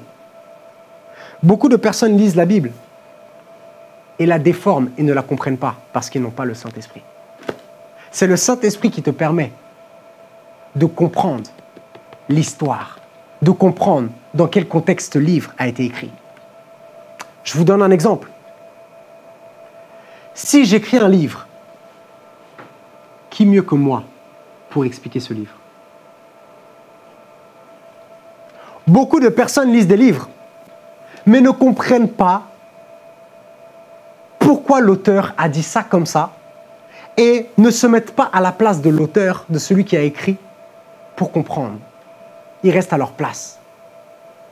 Si j'essaie de comprendre un livre sans me mettre dans la peau de celui qui l'écrit, je risque de déformer son livre.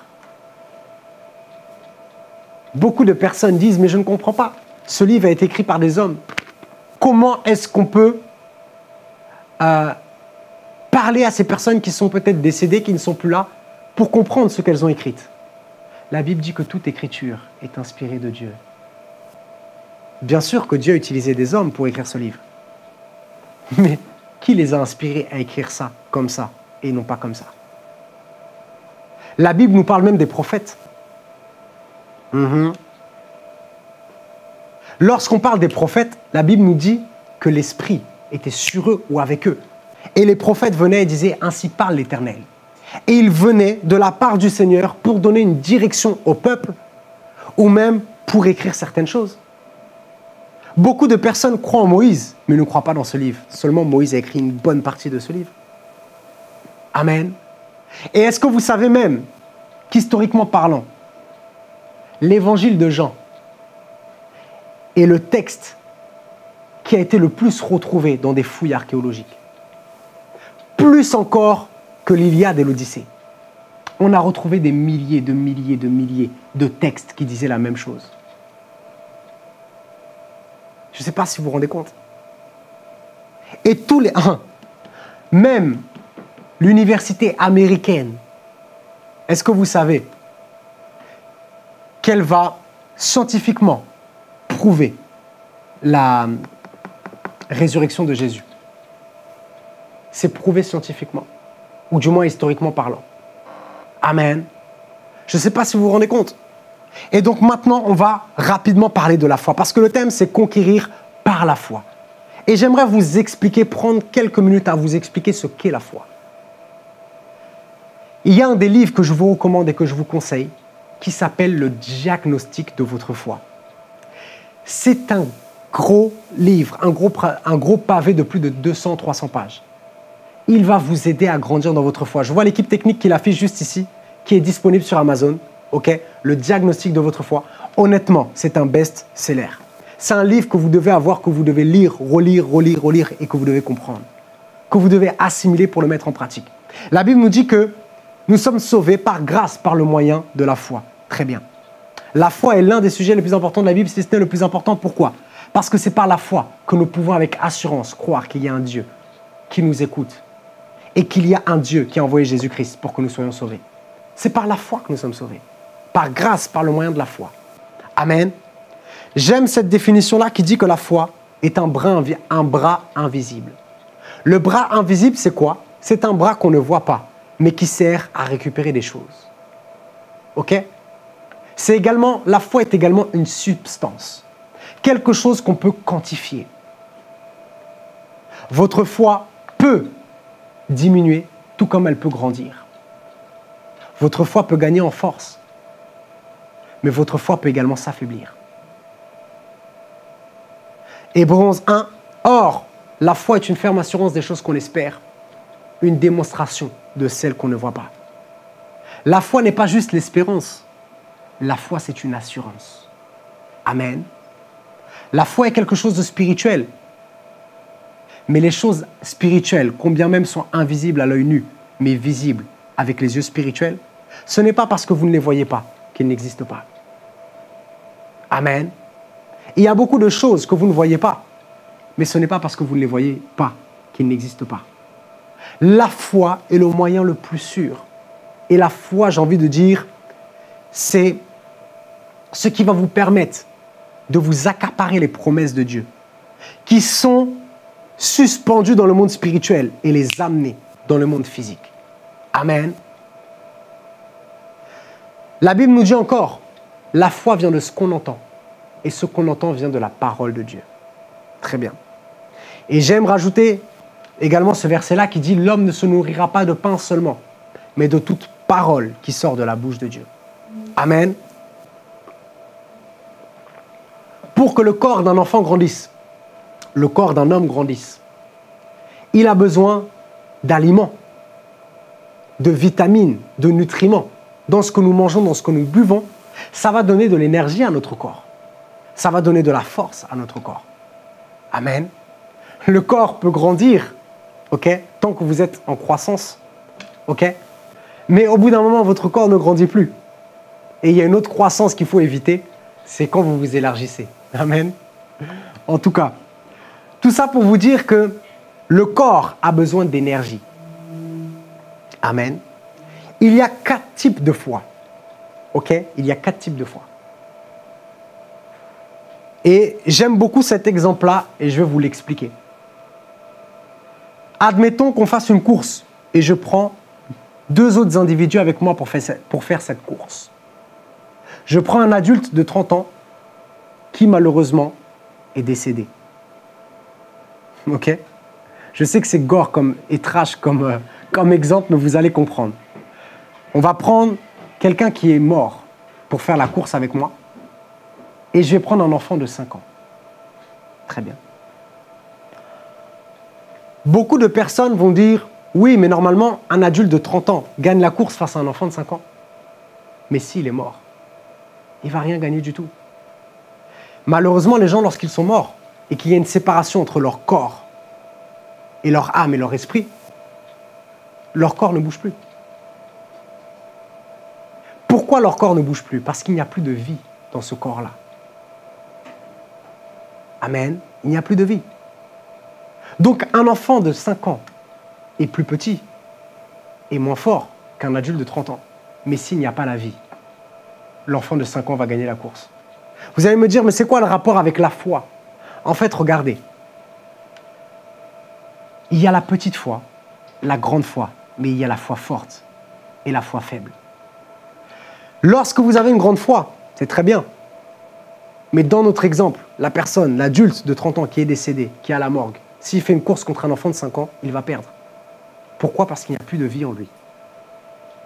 L'enfant de 5 ans, son corps est plus petit, mais il y a plus de force en lui. Pourquoi? Parce qu'il y a encore la vie. La Bible nous dit l'homme ne se nourrira pas de pain seulement, mais de toute parole qui sort de la bouche de Dieu. Ça signifie que la parole de Dieu, le réma, les révélations, vont faire grandir ta foi. Amen. Et de la même manière que le corps, il faut le nourrir pour qu'il prenne des forces, l'esprit, tu dois le nourrir. Amen. Notre esprit se nourrit. Non pas d'une nourriture naturelle et physique, mais il se nourrit quand même. Amen. Pourquoi est-ce que Jésus a pu être là, dans le désert, pendant plusieurs jours, plusieurs semaines, sans manger? Parce qu'il avait une nourriture qui était différente. Amen. Même Moïse, qu'est-ce qui lui a permis de survivre? Il avait une nourriture qui était tout autre. Amen.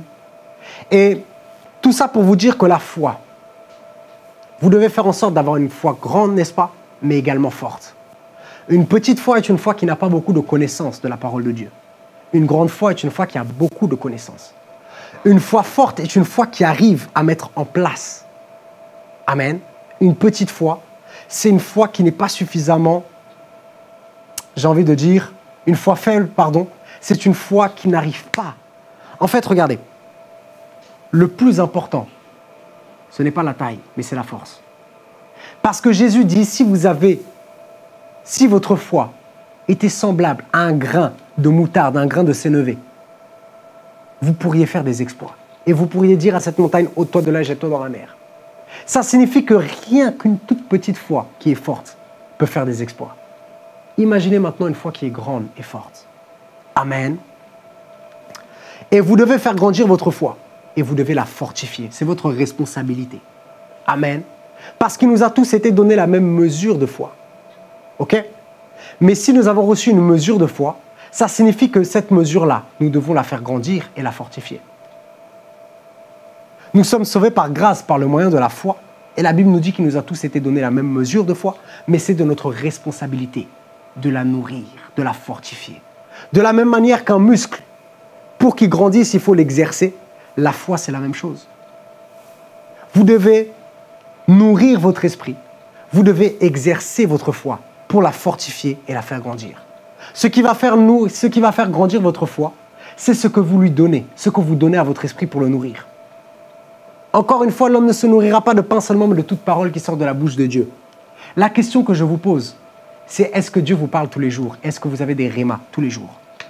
Parce que malheureusement, si vous n'avez pas des rémas tous les jours, que vous ne lisez pas la parole de Dieu tous les jours, ou votre Bible, ou que vous n'écoutez pas les enseignements, votre esprit ne grandira pas.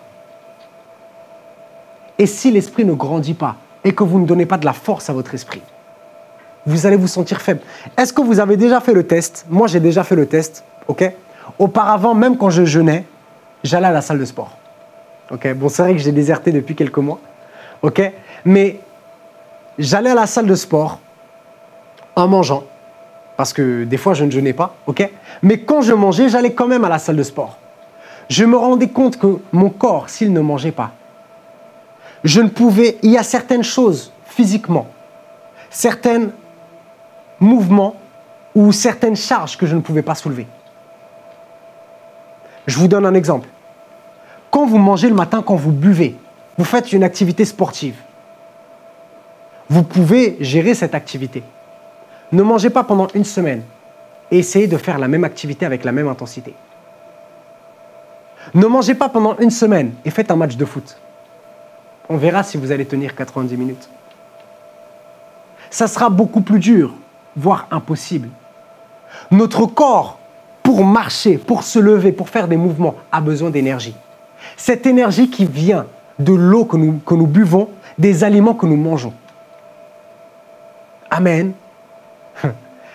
Les enfants, on leur apprend que pour vivre longtemps et pour euh, grandir, pour vivre, ils ont besoin de se nourrir. Faites le test, ne mangez pas pendant trois ans. On va voir, ne mangez pas ni ne buvez pas pendant trois ans. On va, voir si, si vous allez tenir et rester en vie. Ce qui signifie que les aliments que nous prenons vont nourrir notre corps et donner de l'énergie. Parce que dans les aliments, il y a des nutriments, des nutritions, du calcium, des vitamines, du fer qui vont donner de la force à notre corps. Spirituellement, c'est la même chose. Si tu, ne, si tu ne nourris pas ton esprit, ton esprit va mourir. Parce que tu dois nourrir ton esprit. C'est pour ça que vous devez chaque jour prendre un temps où vous lisez la parole de Dieu, vous écoutez des enseignements. Vous devez avoir un temps dans votre journée où vous êtes dans la présence de Dieu. Du moins, la présence de Dieu est tout le temps là. Mais là, c'est un temps que vous avez pris à part. Amen. Vous vous coupez de tout.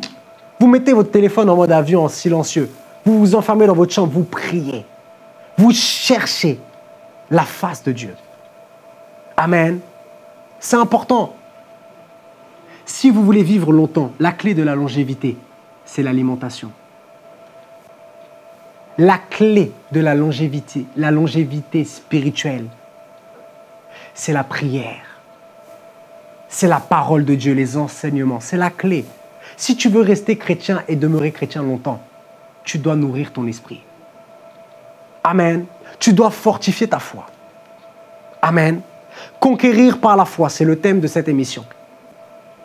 Sans la foi, ça va être compliqué pour toi de réaliser que tu es un conquérant. Et si tu le réalises et que tu espères être un conquérant, d'être pleinement convaincu que tu l'es. Amen. Tu es un conquérant et tu dois booster ta foi, tu dois faire grandir ta foi. Plus ta foi sera forte et grande, Amen, plus tu arriveras à amener les promesses de Dieu à se manifester et à se réaliser sur terre, dans ta vie. Amen. Jésus était un homme de foi. Lorsqu'il parlait, ce qu'il disait s'accomplissait. Ce que Jésus disait se passait. Parce que Jésus était un homme de foi. Amen. Vous devez prendre votre foi au sérieux. Si la Bible dit, en fait, la Bible dit l'homme ne se nourrira pas de pain seulement, mais de toute parole qui sort de la bouche de Dieu. Amen. Ça signifie que la parole de Dieu fait grandir notre foi. Mais qu'en est-il des paroles différentes? De la parole de Dieu Il y a des paroles qui tuent la foi. Je vous dis la vérité. Il y a des paroles qui vont tuer votre foi. C'est pour ça que vous devez préserver votre cœur et accepter uniquement les paroles de foi. Il y a des paroles qui sont là pour vous décourager. Si vous les acceptez et que vous vous nourrissez tout le temps de ces paroles-là, votre esprit va mourir. L'homme ne se nourrira pas de pain seulement, mais de toute parole qui sort de la bouche de Dieu. S'il y a des aliments qui donnent de l'énergie à ton corps, il y a des, aliments qui le tuent. Ah, ah. La parole de Dieu va donner de la force et de l'énergie, de la puissance à ton esprit, même à ton corps, parce que la Bible nous dit que si le corps est faible, l'esprit peut le relever. Mais il y a des paroles qui sont là comme un poison pour tuer ton esprit. Je vous dis la vérité, vous ne devez pas assimiler et croire en tout ce que les gens vous disent. Quelqu'un te dit quelque chose, est-ce que c'est semblable à ce que la parole de Dieu dit? Dieu te dit tu vas réussir. Tes amis te disent non, tu n'y arriveras jamais. Le diable vient et te dit mais tu es un bon à rien, tu sers à rien, tu n'y arriveras pas. Si tu te nourris tout le temps des paroles de tes amis et de, des pensées que le diable te met, ça va te décourager. Je te dis la vérité. Quel est l'environnement dans lequel tu te trouves?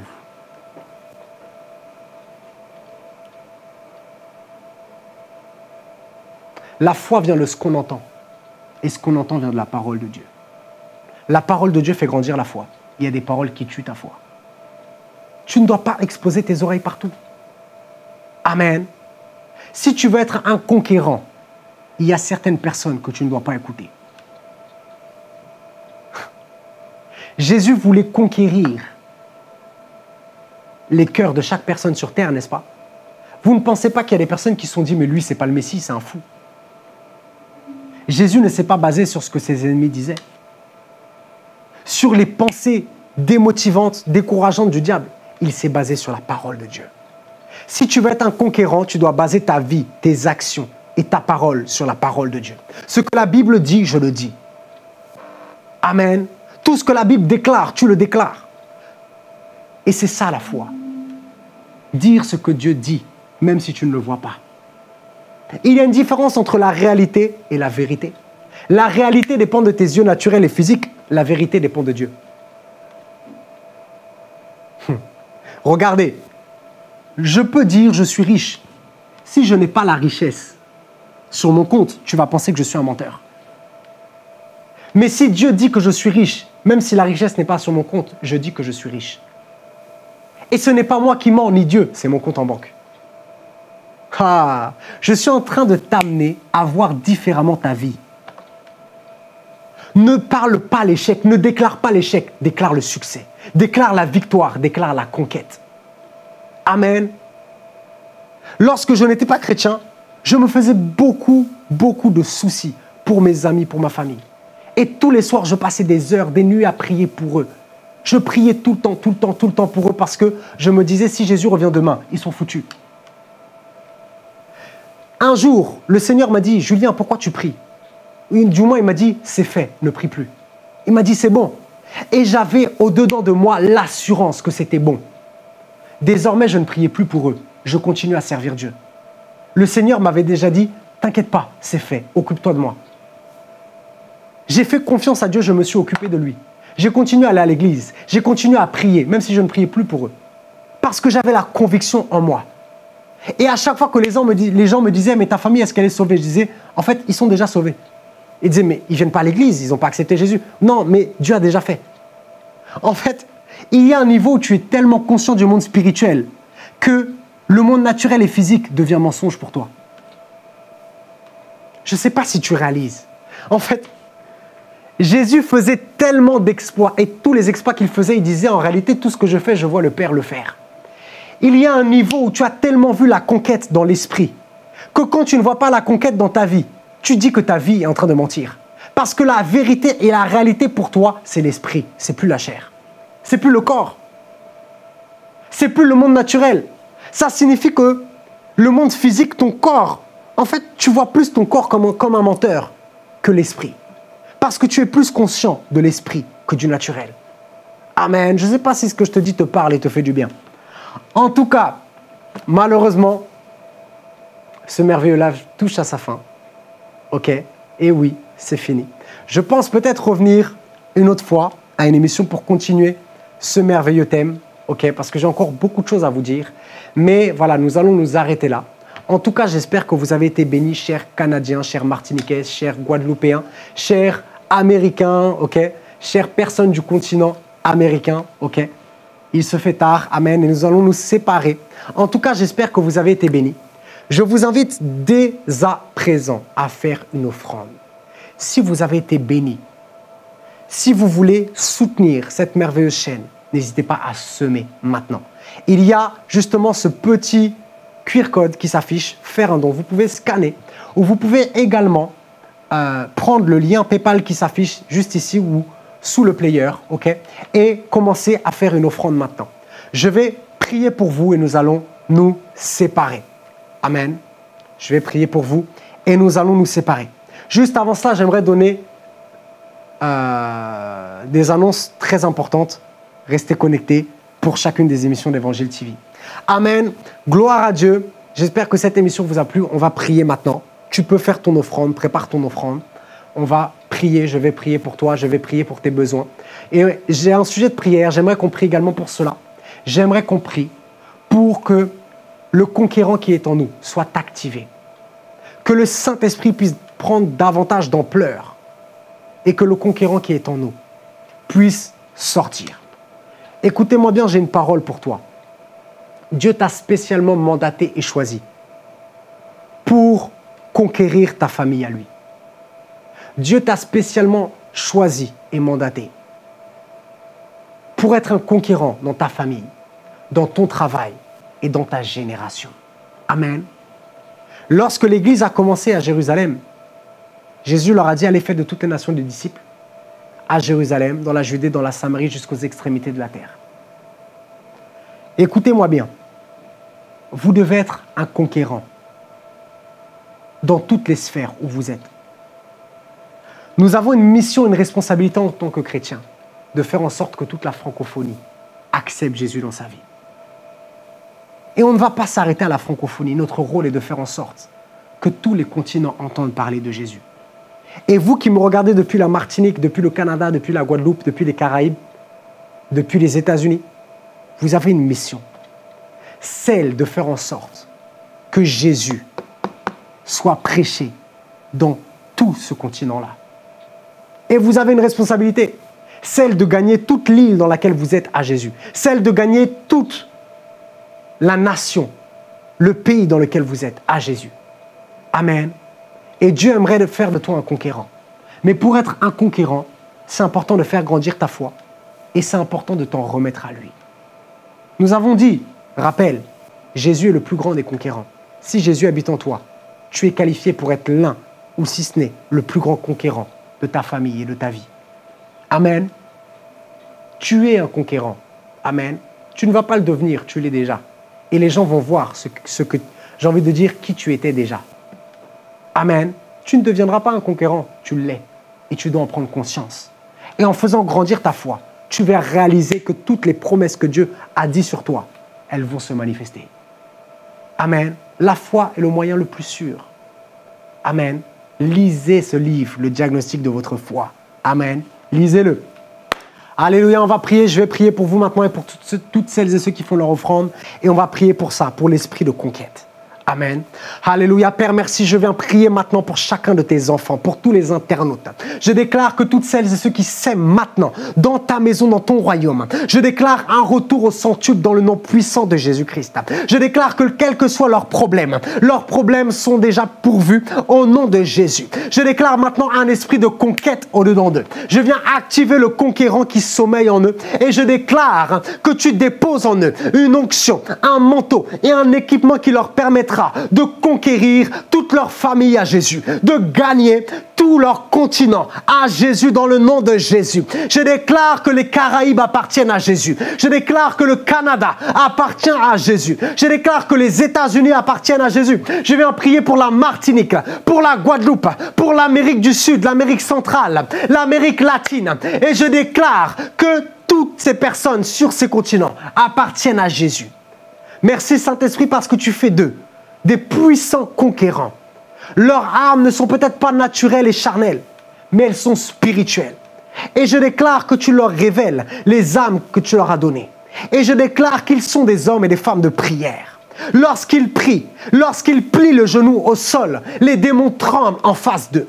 Je viens détruire et annuler tous les plans du diable et de l'ennemi contre leur famille au nom de Jésus. Je viens détruire tous les plans du diable contre leurs finances au nom de Jésus, contre leur travail, contre leurs études au nom puissant de Jésus-Christ. Je viens annuler et détruire tous ces plans machiavéliques et maléfiques contre leur vie au nom de Jésus. Ils appartiennent à Jésus et rien ni personne ne pourra s'en prendre à eux, à eux parce que l'Éternel des armées est avec Merci Seigneur, nous ne craignons rien parce que tu es avec nous. Et si tu es avec, si tu es avec nous, qui sera contre nous? Alléluia, merci Seigneur parce que tu nous donnes la puissance de fortifier notre foi. Je déclare que nous sommes chacun d'entre nous des hommes et des femmes de prière. Merci parce que nous fortifions notre esprit et notre foi.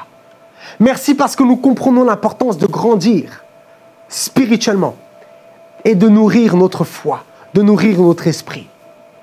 Je viens prier maintenant afin de déclarer que, de la même manière que tu t'es révélé à moi, tu te révèles à eux au nom puissant de Jésus. Je déclare le discernement. Je déclare qu'ils reconnaissent ta voix quand tu leur parles.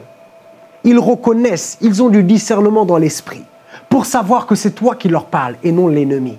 Ils savent faire la distinction entre leur chair, entre l'esprit et les pensées qui viennent du monde, qui viennent du diable. Merci Seigneur Dieu nous te bénissons pour ce merveilleux live. Nous sommes reconnaissants envers toi, envers ta parole, pour tout ce que tu as dit. Je viens sceller toutes les paroles qui ont été libérées dans leur cœur et je déclare un feu pour la conquête dans leur vie. Je déclare que tout cauchemar cesse. Toute attaque de l'ennemi cesse dans leur vie au nom de Jésus. Ils sont libres. Et je proclame la guérison dans leur corps. Je proclame la guérison dans leur âme. Je viens déclarer la restauration de toute offense et de toute blessure. Et je les bénis en ton nom, dans le précieux nom de Jésus. Que l'amour de Dieu le Père, la grâce du Seigneur Jésus et la communion du Saint-Esprit soient leur partage. Au nom puissant de Jésus. Amen. Amen, amen. Félicitations, merci de m'avoir suivi durant ces temps de live. N'hésite pas à t'abonner à cette chaîne, n'hésite pas à liker cette vidéo et à me dire dans les commentaires ce que tu as aimé. Je te souhaite une très bonne soirée, une très bonne nuit dans la présence de Dieu. Je vous aime, vous m'aimez, vous êtes bénis. Que Dieu soit avec vous. Ciao, bye bye. Soyez bénis.